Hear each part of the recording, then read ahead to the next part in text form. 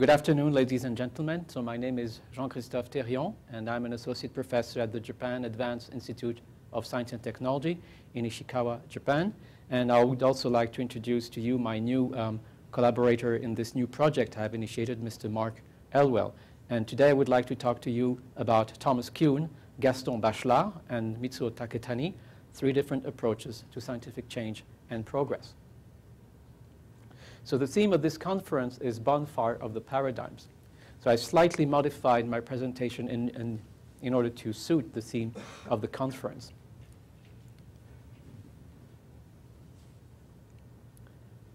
So actually, um, we could start by being a little bit nasty and say, okay, uh, which representatives of the current paradigm we're going to burn first? So we could talk about uh, Hwang Woo, Suk, um, accused of fraud, actually accepted as fraud. Okay, so let's put him in the fire here. Um, then we could um, look at um, Richard Dawkins. Why, why Richard Dawkins? Okay, for becoming a guru, maybe. Okay, uh, oh, he disappeared. And then, okay, Cyril Burt, okay, accused of fraud. Okay, well, this one got into the fire. Okay, so let's look at the roots of the problem. We're starting a fire from the foundations, aren't we? So as it is used here, what does paradigm refer to? Okay, uh, we need to consider here the framework of the conventional current practice of science. So let's look here at science trademark here as an institution. And let's look at some of the main elements of science as an institution.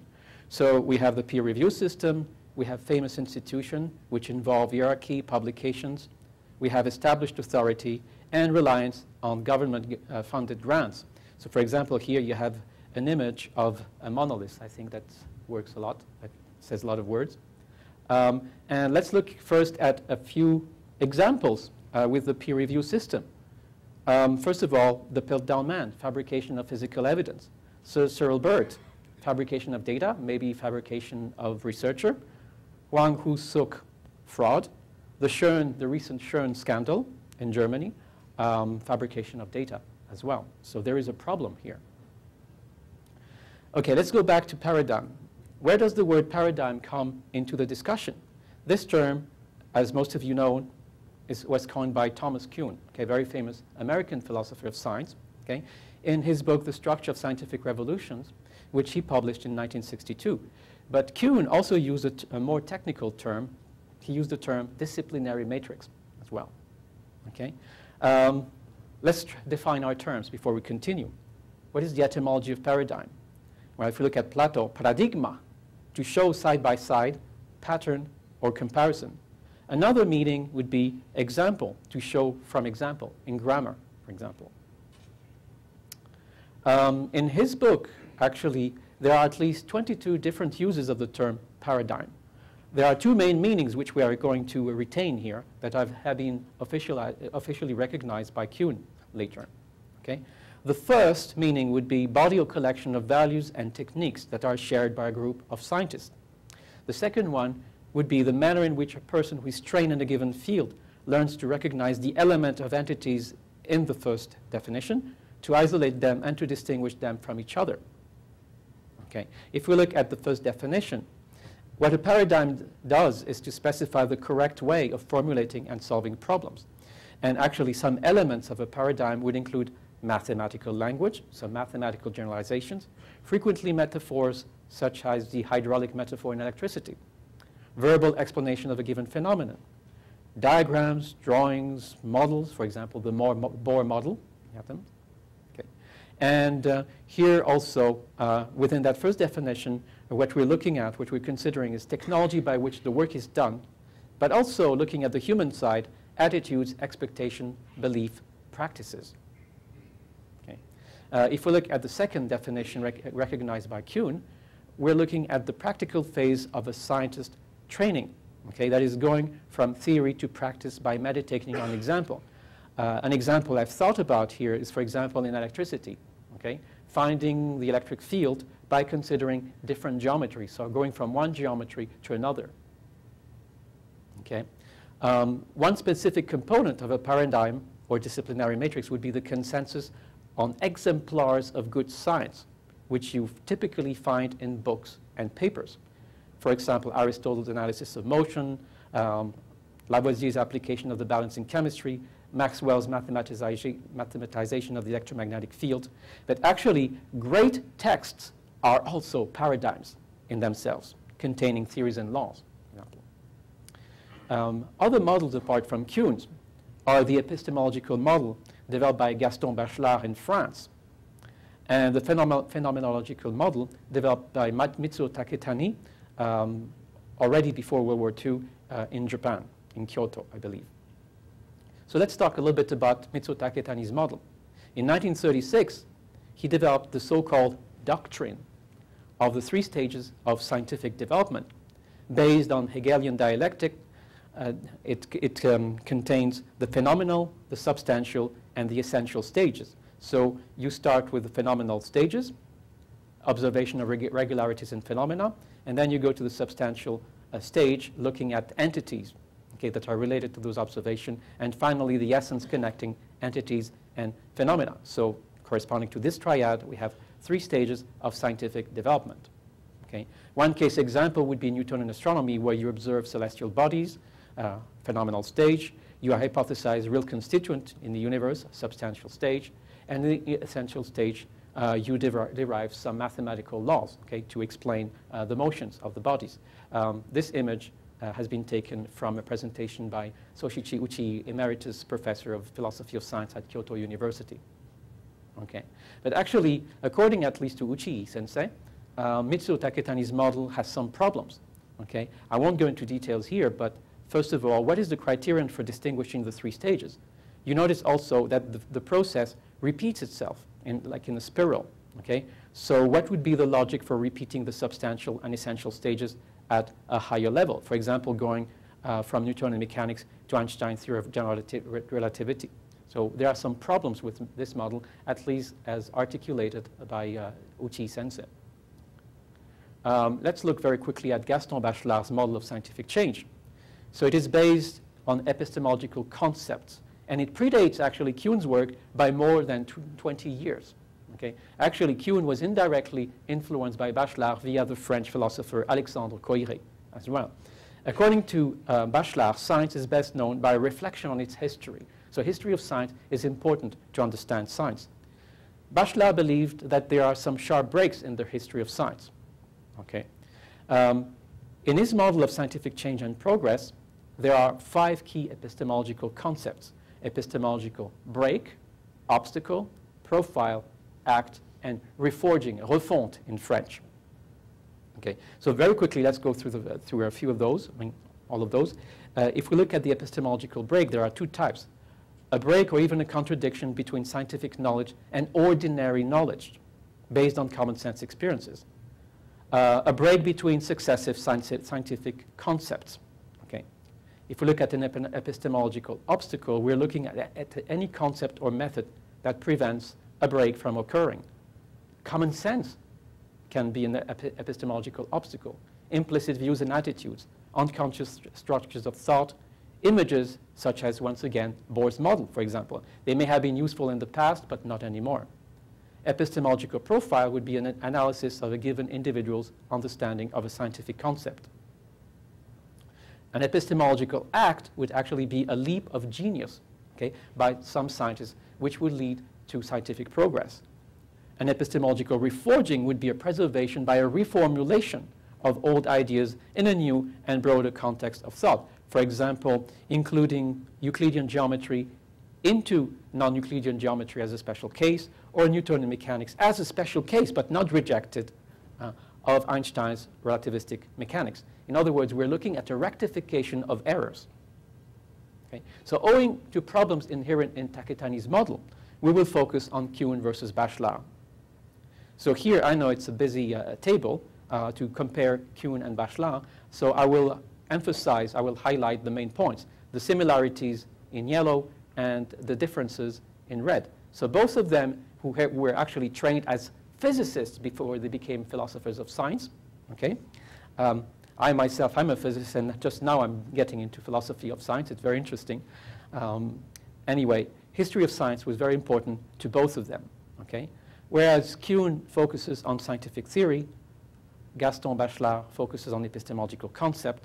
And if we look at a description of scientific change, uh, to Bach for, for Kuhn, um, normal science was constituted by paradigms like puzzles. You, you add pieces to the puzzle. And when there is a piece that you would like to add that doesn't fit with the puzzle, okay, then you have a crisis, which leads to scientific revolution, in other words, to paradigm shift. According to Kuhn, those are rare and they are discontinuous, whereas for uh, Bachelard, um, there is the historical discontinuity is normal. Okay? The mode of change in the case of Kuhn is that those crises constitute a sudden event, whereas actually in the case of Bachelard, there is a process that is involved. Is there scientific progress? In the case of Kuhn, not necessarily, because there is so-called Kuhn loss, okay? a loss of explanatory power that can occur when you have a new theory. Okay? Uh, in the case of Bachelard, usually, yes, there will be uh, scientific progress. Is there a better approximation to the truth? When I say the truth here, I mean something that is objectively measurable. Okay? Uh, no, according to Kuhn, because of the incommensurability, the difficulty in comparing successive theories. In the case of Bachelard, yes, through the correction of errors. So you can see that um, there is an interesting mix of similarities and differences between Kuhn and Bachelard. So this is the question I would like to submit to all of you in this conference. Can we elaborate a new model from Kuhn and Bachelard that will address real problems? Okay, this is what I would like to start working on in my new project. In other words, are we just burning the old house, science as an institution today? Or are we preparing the ground for planting a new crop? So in building a new model, we need a metric. And of course, we, are planning to use anomalies as a metric. And I know that there are famous experts here on anomalies. I'm just um, a rookie in that field. Um, but I hope to do some interesting work on it. Um, as you know, there are well-known anomalies in the history of science that led to scientific progress. One of the best examples can be found in astronomy.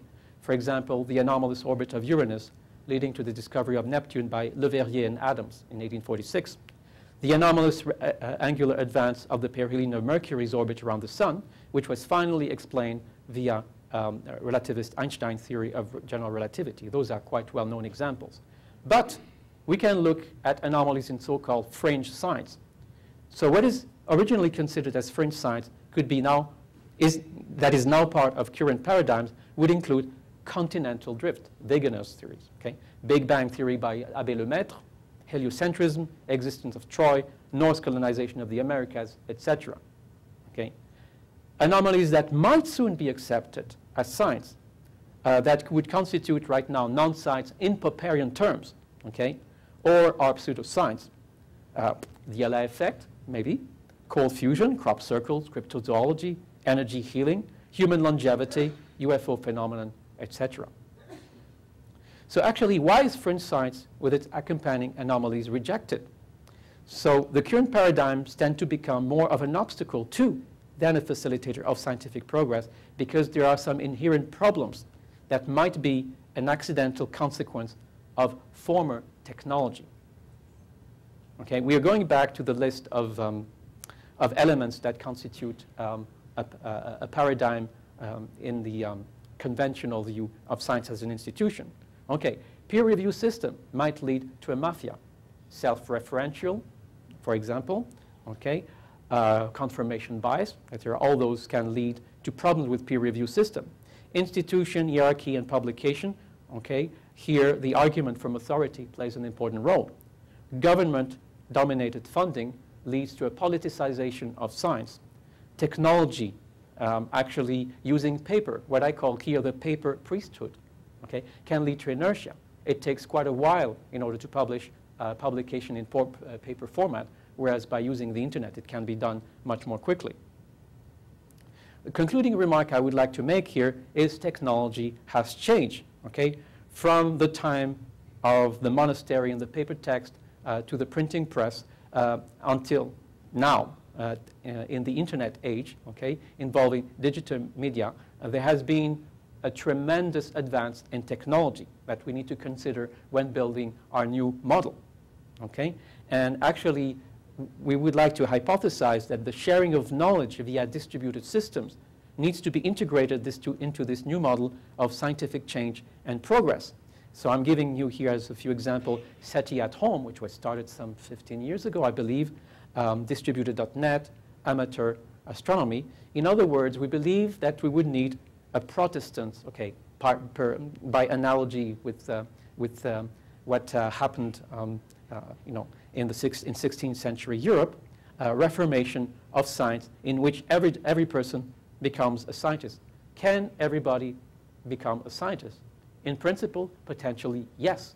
Young people nowadays have tools which we would not even have dreamt about 50 years ago. Okay? Uh, those tools can really be used so that everybody can become um, a scientist, and especially um, the possibility of serendipitous discovery can be tremendously magnified, uh, we believe. Okay?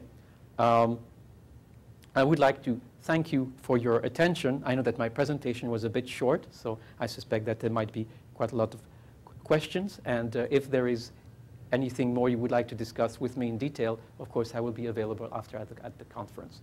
Thank you very much. All right, terrific. We do have plenty of time for questions.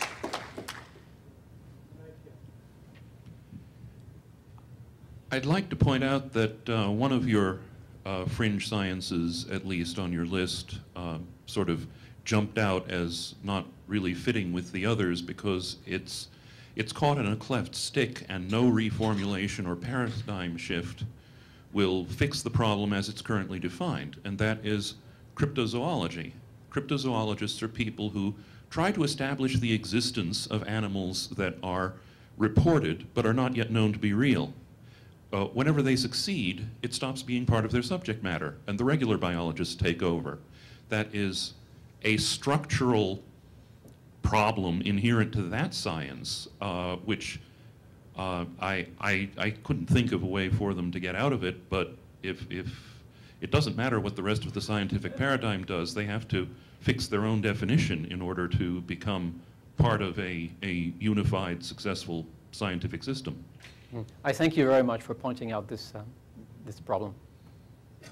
Uh, I, th I think the um, idea of uh, viewing progress in science and change in science in terms of a break, uh, it implies that science can be described as a one-dimensional thing or as one aspect, whereas I think actually there are three important aspects of science. There is the theory, and that's what the paradigms refer to. There are methods, and there are phenomena and facts. And I believe that those three aspects of science don't change in lockstep. One changes, then another one, then another one. And I found a useful way of thinking uh, about change is that uh, if you're trying to, if you're claiming a change in one aspect of science, then Kuhn's idea of paradigm shifts and scientific revolutions re, uh, applies. If, however, you try to change a mainstream consensus with two of the aspects at the same time, uh, you have no audience effectively. And uh, a classic example of that is uh, Mendel. Um, who uh, was ignored essentially for 50 years because he was using an unorthodox method and producing unorthodox data. And if you try to suggest that change is needed in theory, method, and facts all at the same time, then you have things like uh, Loch Ness monsters, Velikovsky's ideas, and what is generally thought of as dismissed as pseudoscience. Thank you very much for your, for your comments. It's going to be very helpful.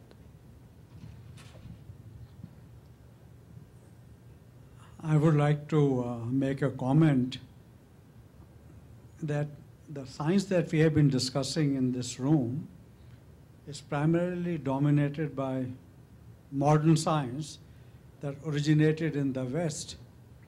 There were some talks um, There's another science about which people don't know anything because of poor dissemination, and that's the ancient science of non-duality that originated thousands of years ago. Ayurveda has come to, or coming to US and the West. Acupuncture is here. And also the science of yoga, not uh, the yoga that you see on the street, but the deep science. Mm. So one proposal, one thought is that in this society, we can entertain the idea, what is their science? There have been discussions here in this uh, uh, conference since morning.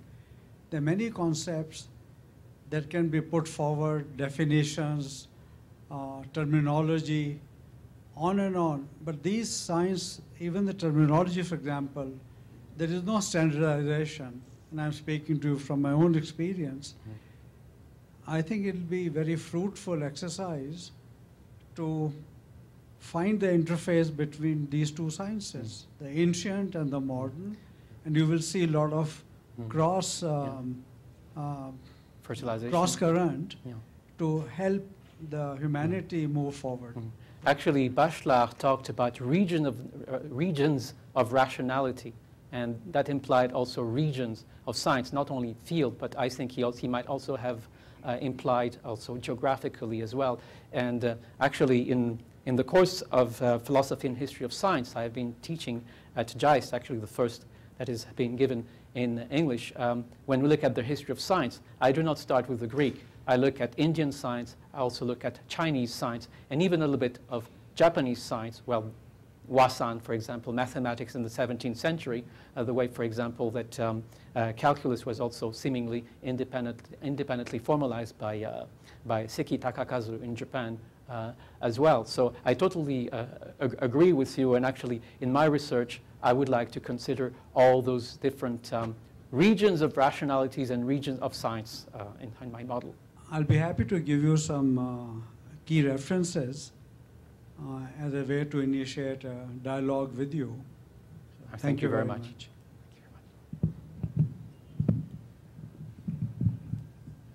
Okay, thank you.